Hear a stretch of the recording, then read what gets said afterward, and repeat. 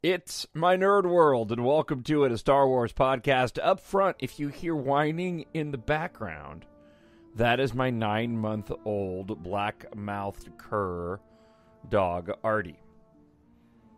She likes to whine a lot. It's the most talkative dog I've ever met in my entire lifetime, she happens to be hanging out in my room right now while I record this week's uh, podcast. So, on the show, apart from my whining dog, Marvel's Kevin Feige talks uh, Star Wars. Also, uh, the art director for The Rise of Skywalker posts uh, a rather, in my opinion, innocuous Instagram picture along with uh, with some comments. And I don't know if it's the lack of news right now or what, but many articles have been written. Uh, many uh, of those in the fandom that don't like The Rise of Skywalker are using this particular post as a means to trash the movie even further. So, we're going to talk a little bit about that and get to your listener feedback. I'm glad you're with the show. Uh, you are listening to a Star Wars podcast. Let's get to it. It's an instinct.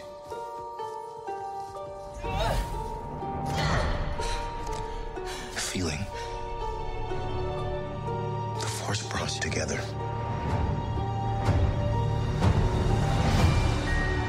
We're not alone. Good people will fight if we lead them. People keep telling me they know me. No one does. But I do.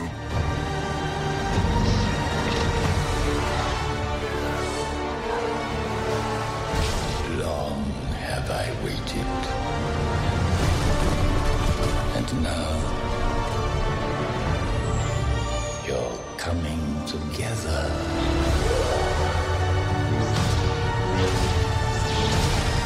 Is your undoing.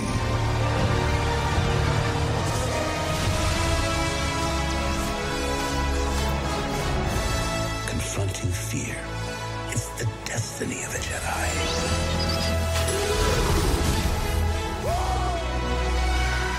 Your destiny.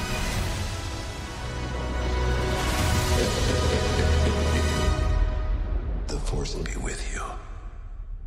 Always.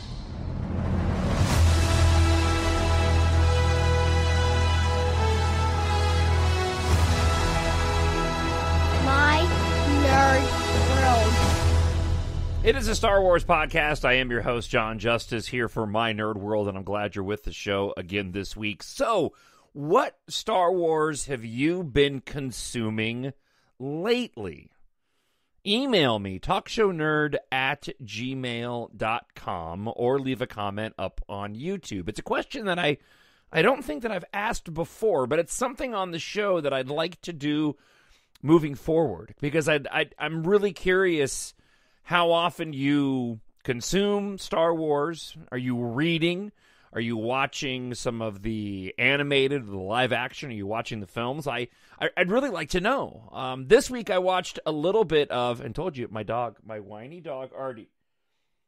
I'm doing the show. She's been quiet this whole time that I've been prepping the show today. She hasn't said anything. And the moment I started talking, she started whining. Well, it is coming up on lunchtime, so she may she may bolt upstairs here in a, in in, in a bit. Um, I did some watching. I, I started rewatching uh, season one of The Mandalorian uh, this this past week, and um, just working through and, and really, I really wanted to watch season two uh, because I, I I just I find myself normally I find myself gravitating more towards newer Star Wars uh, probably why I watch the the sequel trilogy as often as I as I do. Uh, but I was like, you know what? I hadn't watched the um, season one of The Mandalorian since before season two came out, so I just started working through it again, and uh, just I mean, just such an enjoyable show. It's different Star Wars. The pacing is different than what we get in the uh, in the theatrical releases, but I was uh, but I was really enjoying it. Also, I've been watching um, watched a few of the the Bad Batch episodes from season seven. Uh, and actually, I've been watching way more Star Wars than I thought. And uh, Kyle, my 14 year old, and I have been have watched. Um, we've been working through Rebels again. Uh, I've got Rogue One sort of parked, ready to go today. The family went north here in Minnesota last night to go look at the aurora borealis, and I got a couple hours here once I get this done, and I think I may end up watching Rogue One. But I want to know what you're, what are you watching? What are you watching, and why? I'm really, really. I'm really curious. All right, we do have some listener feedback, so we'll uh, we'll get to some of your comments from the uh, from the past week a little bit uh, later on in the show. Not a lot going on news wise uh, this week. There was one particular item, I mentioned it earlier, that we will talk about, and that is uh, James Clyne, the Lucasfilm and ILM director, uh, put up an Instagram post and and and just a lot of people ran with it. So it's again, it's it's up for debate and opinion what this actually means, but I'm going to lend my two cents to some of the the negativity. So uh, let's dive into the one one news item uh, that broke uh, later this week. This is not going to go the way you think. So it was announced last year that uh, Marvel boss Kevin Feige uh, would be helming or will be involved in some way with a future Star Wars film. Uh, a lot of excitement uh, around that. Um, certainly, I'm excited by that. I'm I'm a, I'm a fan of of Kev, what Kevin Feige's done with the Marvel Cinematic Universe. The guy um, and the live action now. Uh, the the um, the the start, the first episode of Winter Soldier was good, different. It felt a lot like the first episode of WandaVision kind of setting the stage. Uh, the action sequence, though, was ridiculously good. In um, did you hear the dog? Uh, the the uh, the the opening action sequence in in uh, in uh, the Falcon and Winter Soldier. What did I say a moment ago? I don't think I said that. Yeah, Falcon and Winter Soldier was really, really good. Um, but yeah, I'm a big fan of Kevin Feige, so him doing a Star Wars movie gets me excited. This is what he had to say, though. Um, Feige isn't planning a major push into Star Wars beyond the movie that he's producing. Uh, no, Marvel Studios president Kevin Feige is not planning to push into the Star Wars space, even though he has his own movie in the works. As pre- previously reported, the architect of the Marvel Cinematic Universe is developing a new Star Wars movie for Lucasfilm. But the man himself tells EW, Entertainment Weekly, in an interview um, for The Falcon and the Winter Soldier that his involvement with the galaxy far, far away will not extend to the multitude of TV shows now in the works for Disney Plus. He said, uh, and I do that thing with my fingers. No, that's all Kathleen Kennedy. Feige said, referring to the president of Lucasfilm. I'm involved in as much as I stay up until midnight Los Angeles time to watch new episodes of The Mandalorian when they drop. Uh, Disney did announce in September, oh, excuse me, of 2019, so it was almost, so we're, going back about a year and a half, um, that Feige, a known Star Wars fan, will produce a new movie uh, for the franchise with Kathleen Kennedy. With the close of the Skywalker saga, Kathy is pursuing a new era in storytelling. And knowing what a die-hard fan uh, Kevin is, it made sense for these two extraordinary producers to work on a Star Wars film together. Uh, Alan Horn, co-chairman and chief uh, creative officer of uh, the Walt Disney Studios, said that at the uh, at the time. So not a not not a huge surprise, apart from the fact that getting back to the rumor mill and what some of the more negative uh, sites like to go and run with. Um, talking about Kathleen Kennedy getting booted out and all this kind of nonsense, and Kevin Feige taking over. Um, just sort of putting that to bed that no, he's just going to be producing uh, producing the film, but not doing anything further. So this next one's interesting, uh, and it's kind of funny and and timely because last week talking about uh, the Rise of Skywalker again, and I had uh, talked briefly about the that end montage sequence and what I had kind of envisioned the end of the Rise of Skywalker could be and what they ended up giving us in the Rise of Skywalker, which I quite enjoyed. And going and looking back at the previous films, it fits in quite nicely. A quick little montage of going around the galaxy to see the fall of the First Order to sort of establish that yes, the First Order has fallen. We um, we kind of got the the the the visit to different planets at the end, end of Revenge of the Sith, but of course at the end of Return of the Jedi, we did go to those multiple locations, and the sequel trilogy was certainly aligned more with the original trilogy um, in terms of the the poetry of the of the two um, of the two trilogies together, right? So it mirrored the original trilogy more than it did the the prequel trilogy. So, um, this particular article comes from Bounding into Comics, and they are covering a story that was done by a YouTuber who goes by the name of Not My Star Wars. So, I think right up front, you know the opinion of this particular YouTuber. Uh, there were multiple articles written about this, and the vast majority of articles were all saying the same thing. That is, just like the headline of this Bounding into Comics article, Lucasfilm and ILM art director James Clyne reveals just how rushed Star Wars The Rise of Skywalker was. This is another situation where, in my opinion, it depends on your point of view. If you're looking for things to try to substantiate your negative feelings about that film, I can certainly understand why you would go and lean on, look, this is an example of why it was rushed and why it wasn't good. I'm going to look at this from the other perspective as an individual that loves The Rise of Skywalker and also knows because I watch a lot of documentaries, not just about Star Wars, but all films. Um, most productions are rushed, and the really big ones that have a lot riding on them usually have last minute changes that take place.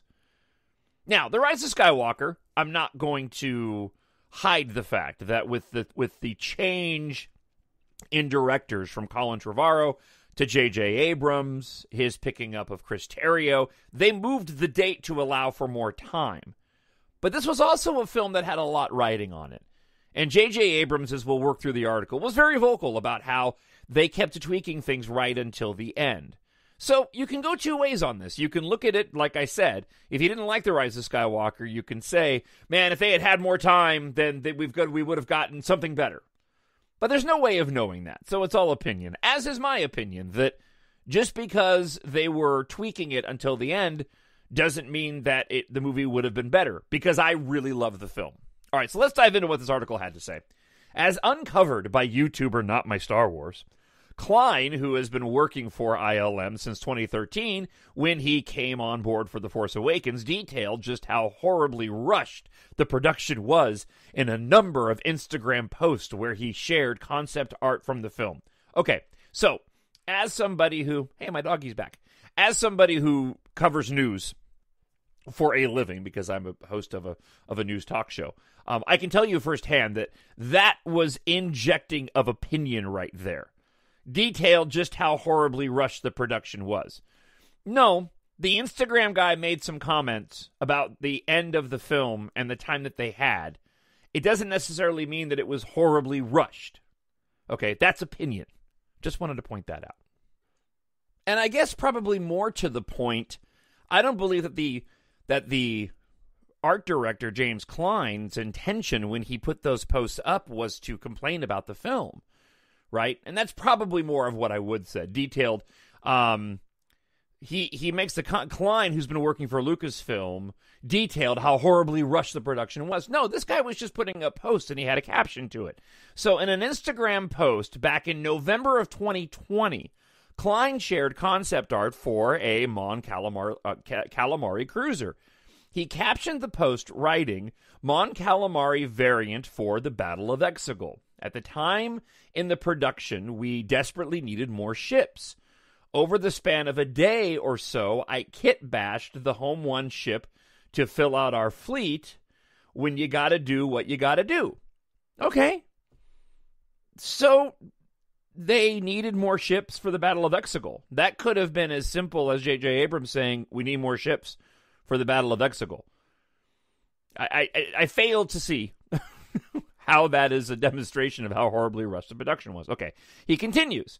More recently, Clyne shared a shot from the ending of The Rise of Skywalker showing a Star Destroyer um, crashing into Bespin. Okay, first off, that's wrong. The Star Destroyer wasn't crashing into Bespin. The Star Destroyer was falling in the sky, crashing um, as it passed by Bespin. It wasn't crashing into Bespin. Okay, just wanted to point that out. He wrote part of a quick montage at the end of The Rise of Skywalker. Fun building Bespin under pressure. Only had a day to work this out because it was late in production and we were under the gun. Okay. So the idea for that montage at the end of the film came late in production. All right. Clyne then added, Note, scale of the Star Destroyer is way off, mainly because the team was looking for dramatic composition. All right. That's not a huge surprise.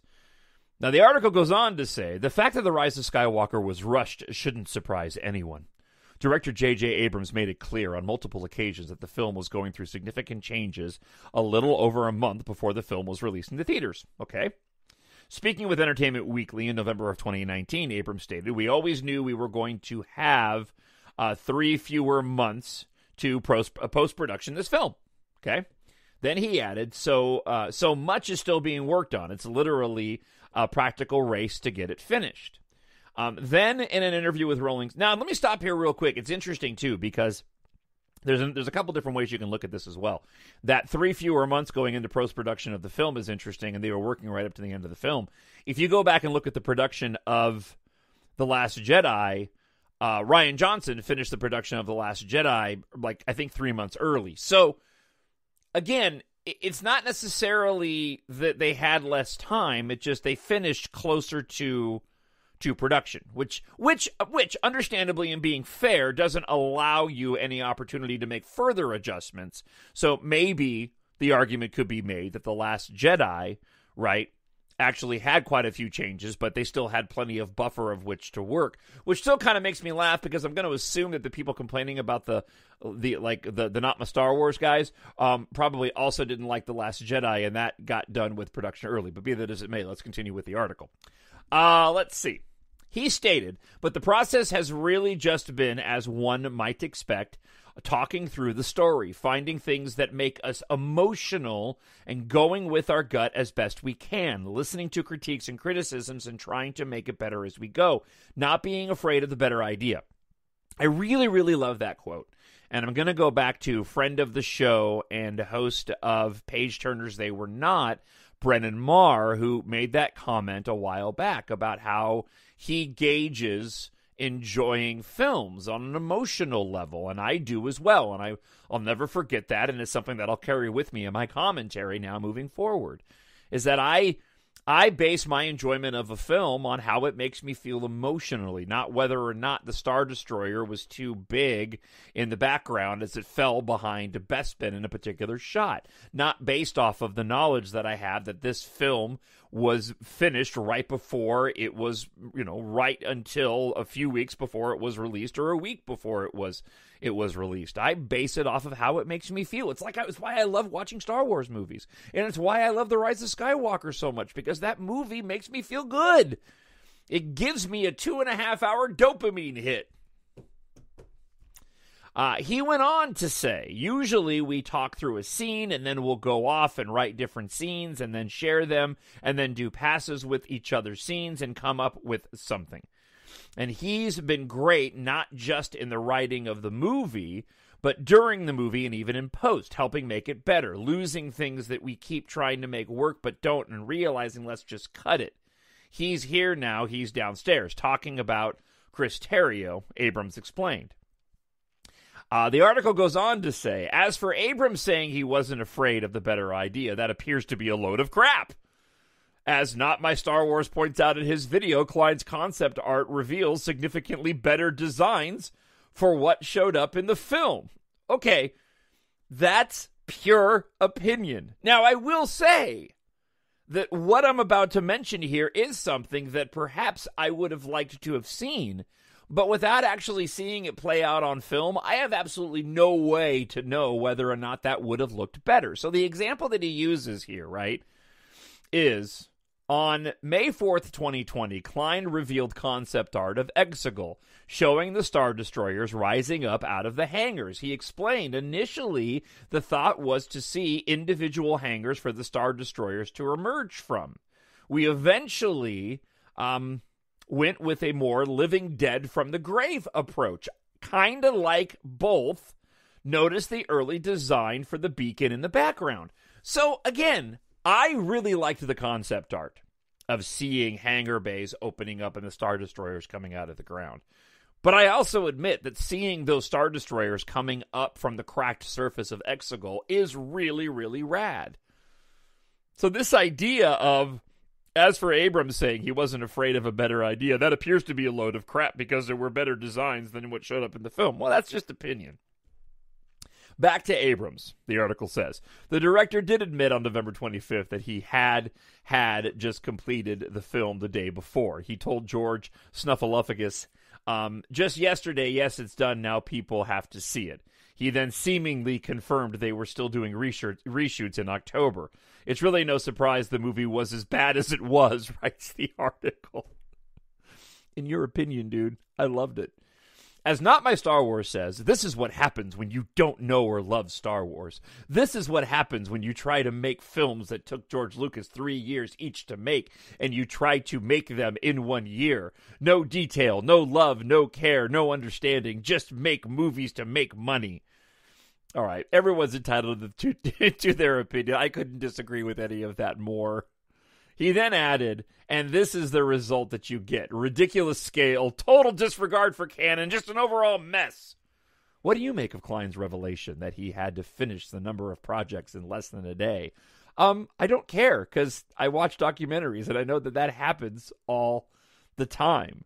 And if you go back to that other comment in the uh, in the article, you know, J.J. Abrams talks about the fact that finding things that make us emotional and going with our gut the best that we can you know, and that's that's the thing about the creative process. As somebody that you know does radio, uh, writes stories, you know, you can't you can't make something that's going to make everybody happy. You can get close, but I'm very much of the opinion that you do what you what makes you happy, what brings you joy, right? You be the most uh, most genuine and authentic person as possible and create the most authentic and genuine thing that makes you happy and you'll reach the biggest audience you're you're capable of reaching you'll reach um, the uh, you know as many readers as you're capable of of reaching that go and read and read your stories that's how I write my stories I write stories that thrill me. These are things that I would love to see on the big screen. These are scenes and ideas and thoughts that I think are a ton of fun. If other people dig them, awesome. If they don't, there's nothing I can do uh, about that.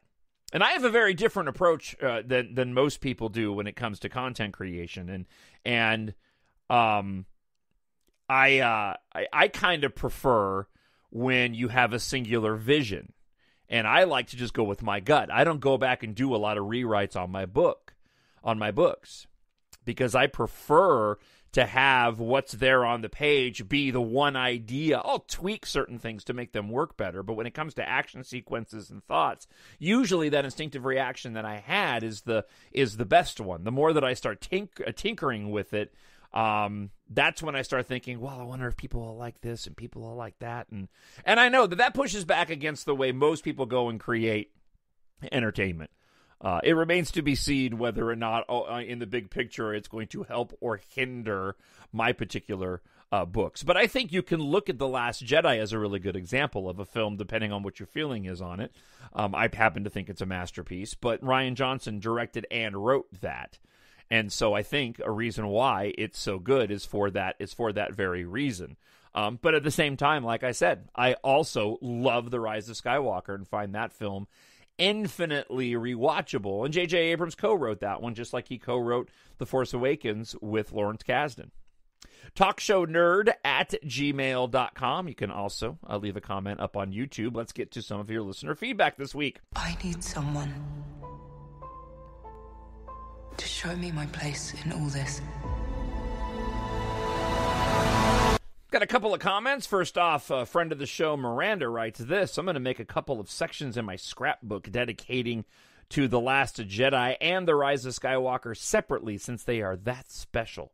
And let's be honest, the more these folks talk about Kathleen Kennedy and other people such as Rian Johnson, J.J. Abrams, Chris Terrio, and Gina Carano, you name it, they're only making them even more famous, pushing them forward in the limelight. I mean, look at Rian Johnson right now. He is becoming quite the rock star at the moment. Uh oh. Doggy's back. Um, thank you, Miranda. Always appreciate the comment. Miranda, um, uh, Irene writes this.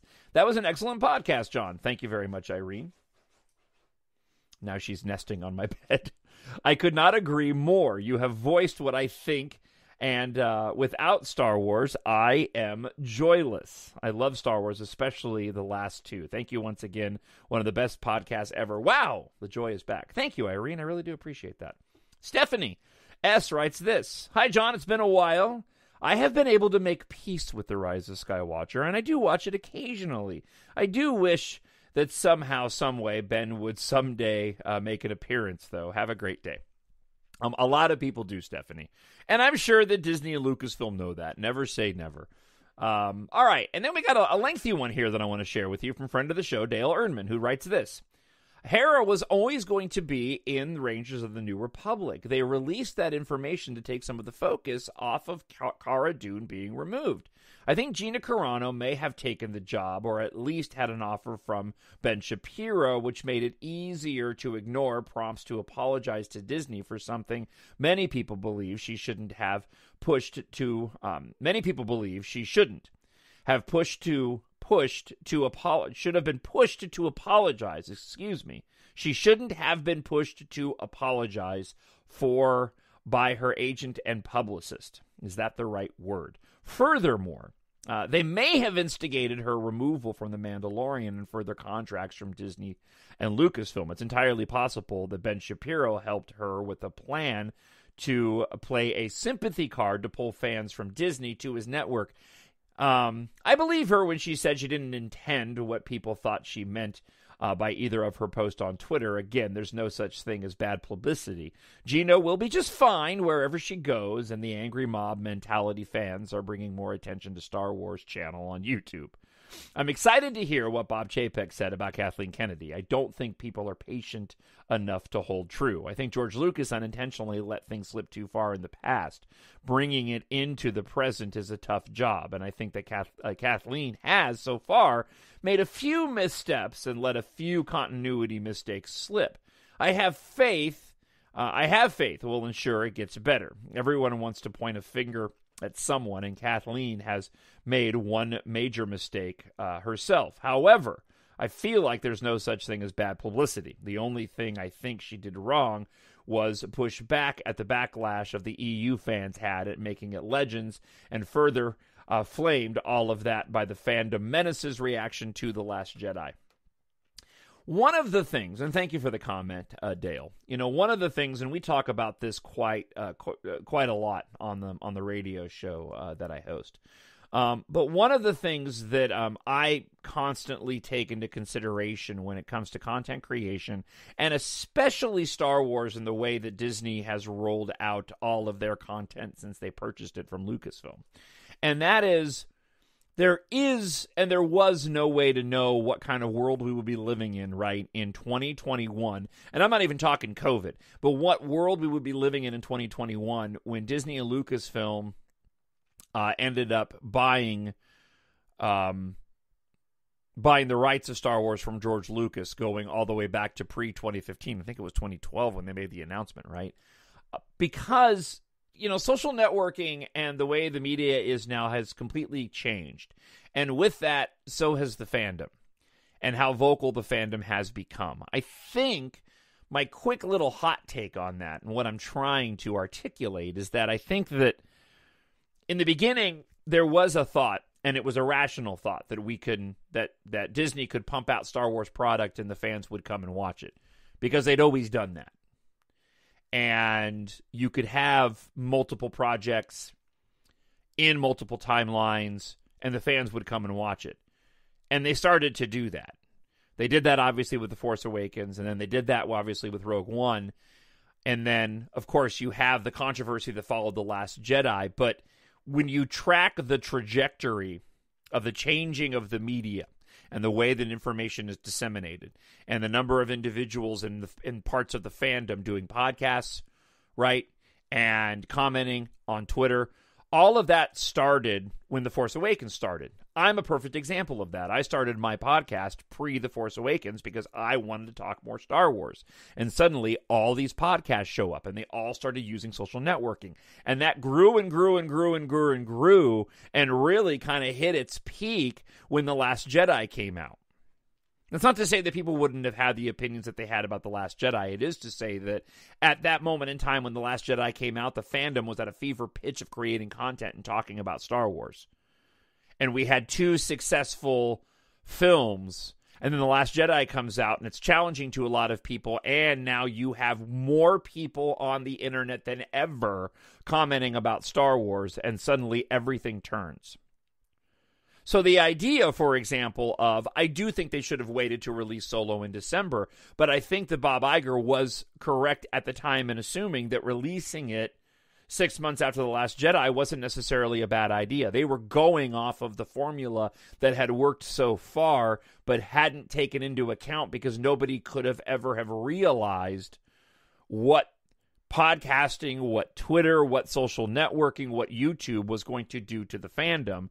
And they found out with the release of Solo. And it wasn't good. That's what I think happened with regard to that. And I just wanted to comment on that based off of Dale's comment about uh, about Kathleen Kennedy and any sort of missteps that may have taken place. Um, I'm willing to cut a ton of slack to most of those content creators because we just live in a really really weird time right now. Right, there's no doubt about it. Things are not uh, the way that they used to be when those films came out. Uh, certainly the original trilogy, but not the prequels, and not even when The Force Awakens and Rogue One came out.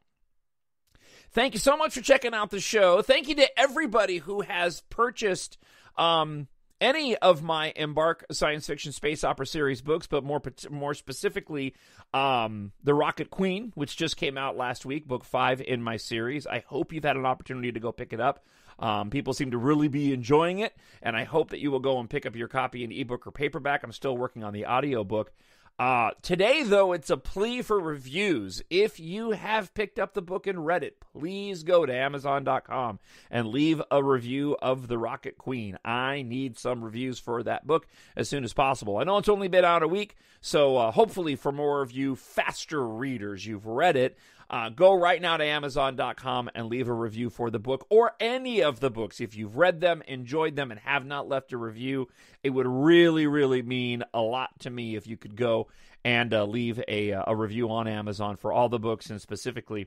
Uh, embark the Rocket Queen Book 5. All right, that wraps up the show this week. I hope that you have a uh, fantastic rest of your weekend and week ahead, and we will talk to you again very soon. The Force will be with you. Always. My nerd world.